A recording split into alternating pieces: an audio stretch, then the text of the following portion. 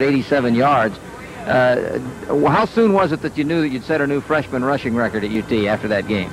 Well, I really hadn't realized it until now when you told me. Uh, it was a good feeling, you know, the offensive line done a great job blocking and, you know, it was a lot of openings for the running backs and we were able to get in them and hang out somebody.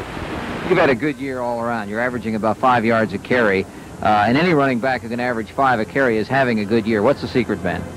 Well, just uh, following the blocking. The offensive line is doing a great job blocking, and you know I'm just uh, trying to do the best I can. You're at the point of the season now where every game is maybe doubly important. This game against TCU, very important because you got Cotton Bowl on your mind, uh, even though you've got some big ones left.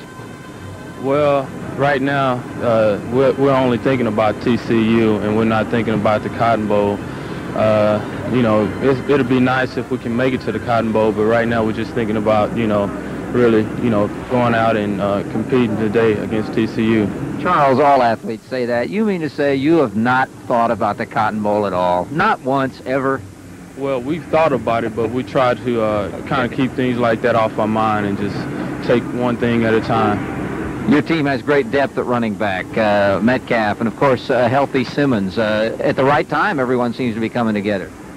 Yes, uh, everyone's getting healthy. You know, the offensive uh, unit is improving week after week, and you know, the uh, abundance of talent, that's an asset for the Longhorns.